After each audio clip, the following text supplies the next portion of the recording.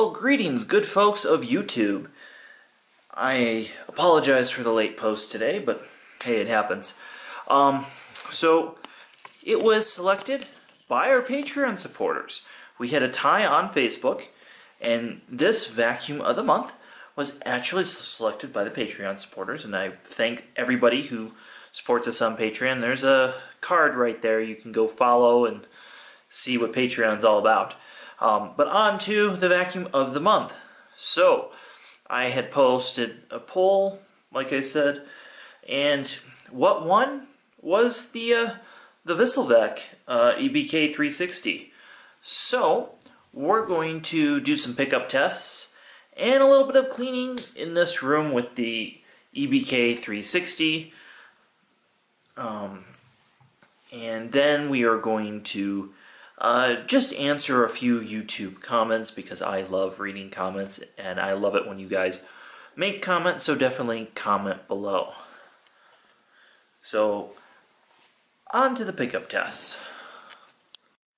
Well, if you're unfamiliar with our pickup test, I want to show you what's here, and I've zoomed the camera way in, but you can see that there's animal hair, cat litter, a little bit of flour, and of course some breakfast cereal. So now we're going to go ahead and turn the vacuum on and see what that picks up. And I'll give you guys that nice close-up view again.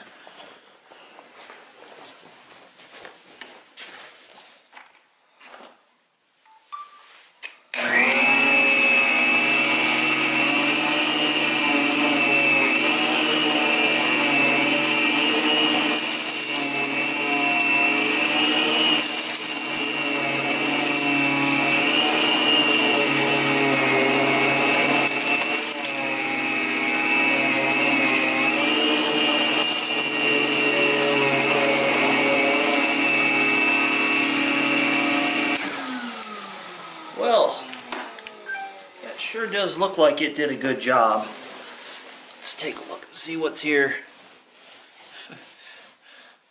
Uh, one piece of cat litter off to the side. Um, so, again, I've already done videos, and I'll put a, a card on that here, on the EBK uh, 360 if you're unfamiliar with this fine piece of German engineering. Um, but it, it really does well. Yeah, nothing really stuck in the roller either. Uh, it it's just a wonderful piece of equipment, and you know there are a lot of different power heads out there, but this power head for the price is just phenomenal, and this is a reason why. Now, when we compare this to the stock power head, we're just going to go ahead and bring that in, in here as well. I do want to mention, now of course I do have a camera on here as well. So when we look look here, you know, keep that in mind. The camera is here.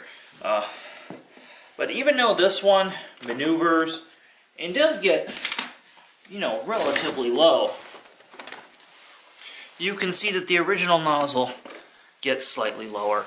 So that's something, um, again, just to keep in mind uh, if you did want to do this to your machine. I think the benefits outweigh the cons, unless you're getting really low really often. I can't see a reason why you wouldn't do this if this was your only machine, or heck, if even if you're like me and I just don't want to put a whole lot of wear on this. Now, the way that this is set up, we have this plugged directly in, and then this is the stub tube. So this little stub tube is the miracle that makes this happen. That goes from the TriStar fitting to the Eureka fitting, which is also the standard central vac fitting. So that makes this happen and this possible. So let's go ahead and vacuum the rest of the room with it.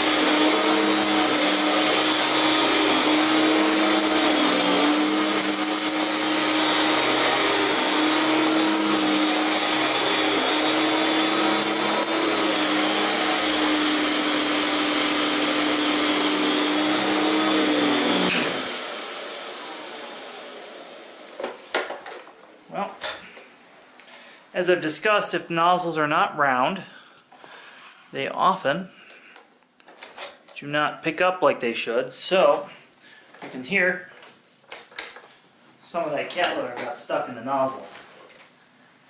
Now the thing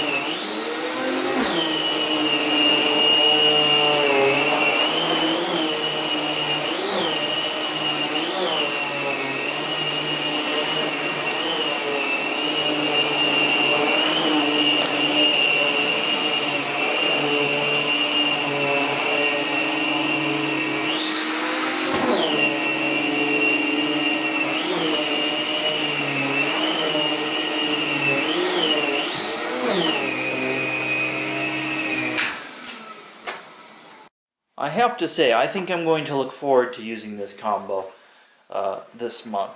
You know, I've had some really wonky ones in the past. I think this is actually one of the better ones I've had, even though it's kind of a custom setup, if you would, uh, so to speak. Now, the other thing I want to show you all is how uh, intense the bag is right now. So I have vacuumed the house uh, for another video already, and I just wanted to show you the bag.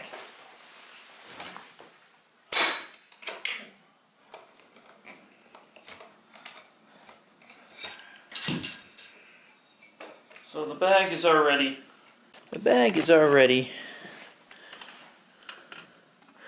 getting there. There's definitely room in there, but it's definitely, we're not going to be starting with an empty bag, but again, I vacuumed the house for the other video, so it's only one use on there. Um,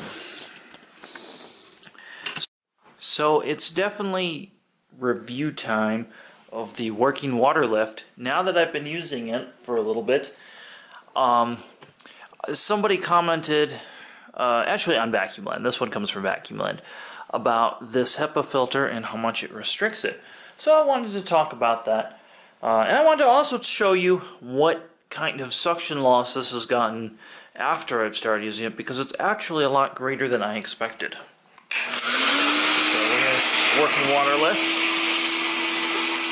Give you an idea where we're at today. So it's gone down quite a bit. Now, we're gonna do,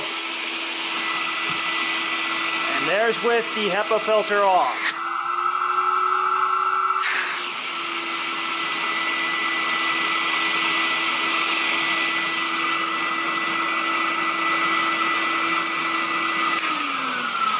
So that is the difference between uh, the filters on and off. You can see that I removed them while it was running. I will say it is quite a bit. So I'm going to be experimenting with changing this filter out. And when I do that update, I'm sure the uh, Patreon supporters will get to see that one. So that is that.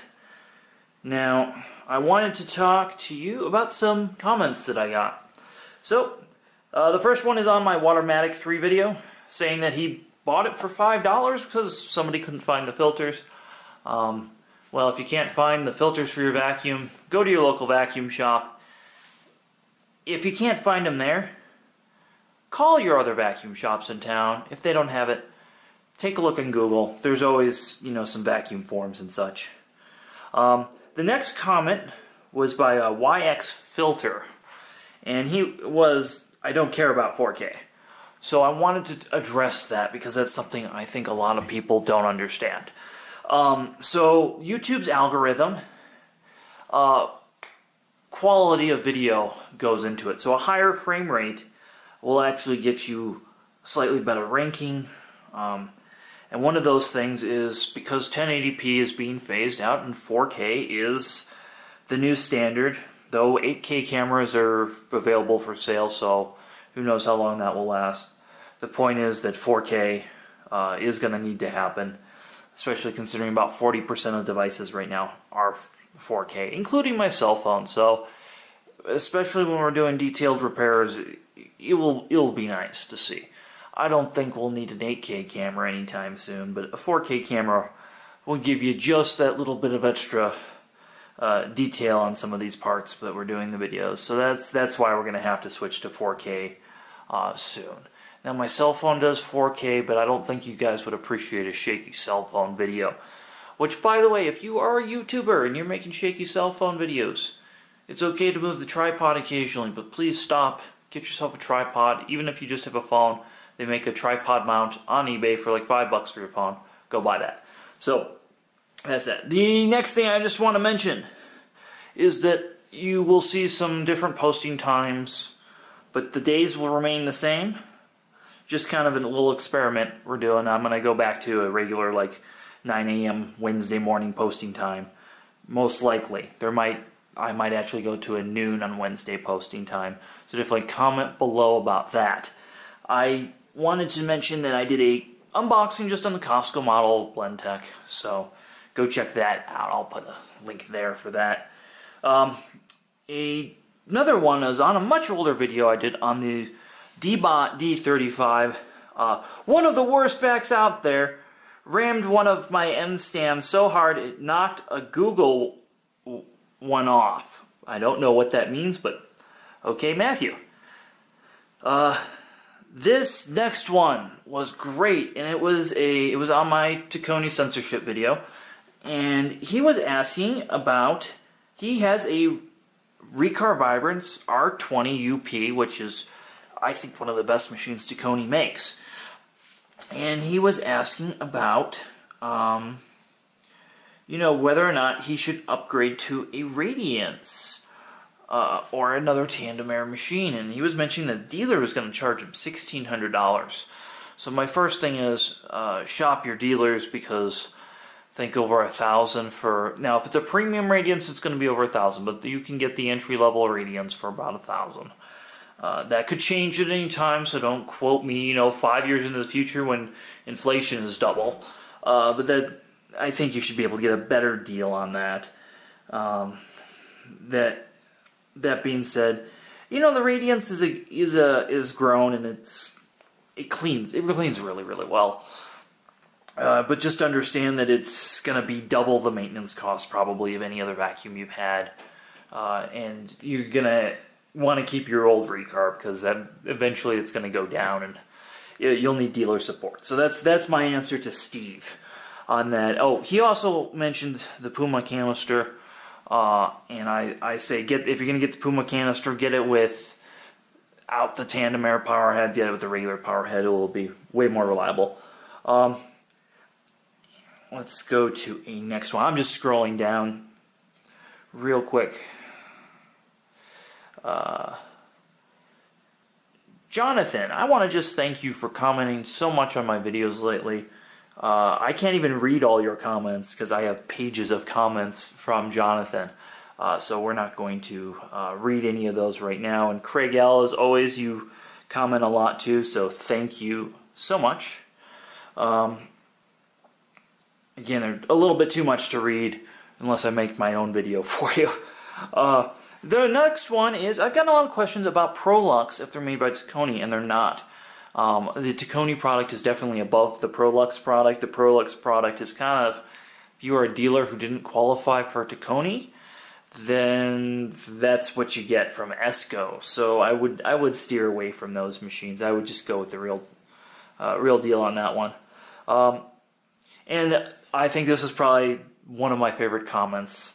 It was on the uh, Eureka Beam Electrolux Q100 Powerhead, and it says the best way to fix the problem is with the baseball bat. And I, of course, said as long as Ice Cube is playing in the background. If you've seen Office Space, you know what I'm talking about. If you haven't seen Office Space, you're going to be real confused about that.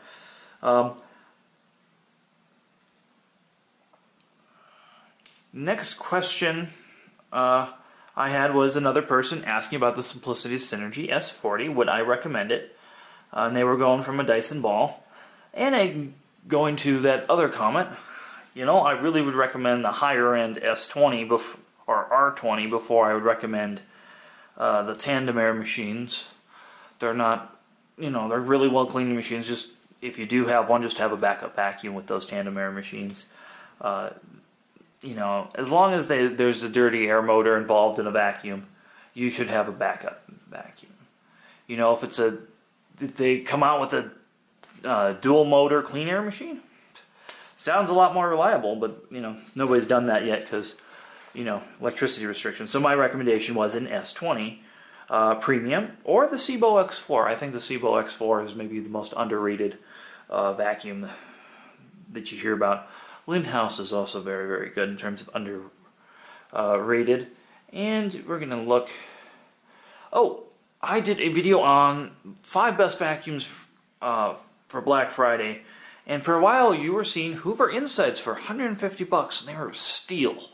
Well, now they're back up to the normal price of 450. So if you missed that deal, I missed that deal personally. I'm a little sad about that, but just just a, a update on that because sometimes I am wrong. Oh, the next one is by Will Smith, who's another uh, regular commenter, and he says if I would not buy a Ninja blender or any other Ninja because they're owned by Europro, the same company owns Shark. Of course, I would not buy anything from Europro. Any other company is better than Europro Shark. And you, there's a great video on the Ninja blender by this dude, and he he breaks it down better than I could ever do that. Uh, but we're sticking with uh, vacuum reviews mostly here. Um, another question is, can you add a HEPA filter to a Miele Mavic?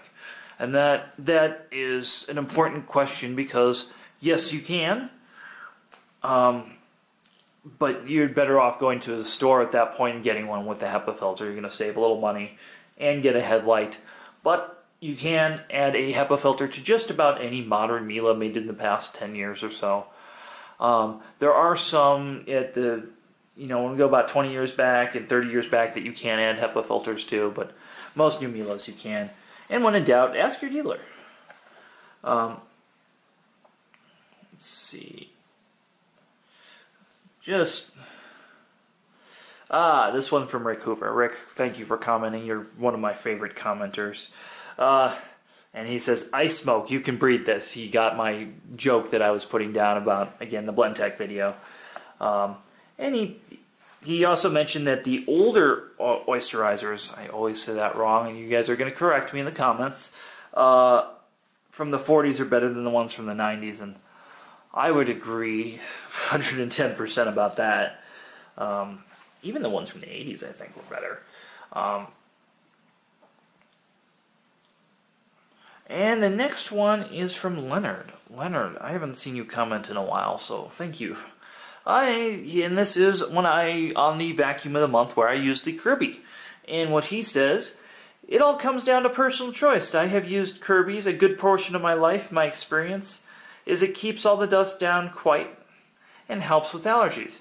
I don't have complaints about this machine myself, and he, he is right.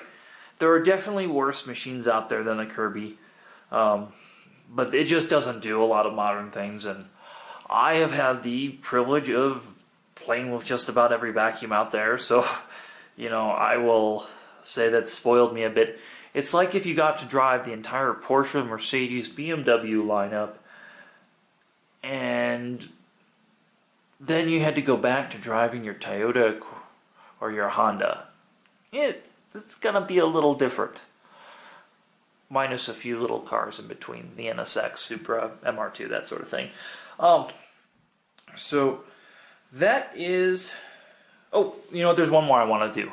Uh, what are my thoughts on wooden brush rollers? I think wooden brush rollers are an excellent alternative to injection molded brush rollers. Again, I prefer the injection molded kind like this to just about anything out there because it's able to be molded perfectly. They use generally don't need balancing screws, um, which helps their bearings last a little longer. The downside is the brush strips aren't replaceable, but usually these are inexpensive enough that that's not an issue. I think a lot of people don't realized over the years when they've been replacing their metal brush strips that they have actually been charged quite a bit of labor uh, from the back shop. Um, so that is all I have today for the channel update and the announcement of the vacuum of the month, which I am excited about. Definitely comment on this video, give this video a thumbs up, and please consider becoming a Patreon. Now we are going to be doing something kind of special coming up. I'm going to just make this announcement. We are going to the VDTA, the Vacuum Dealer Trade Association, and I'll be doing some videos there, some live feeds, etc. So you'll get to see some cool stuff there.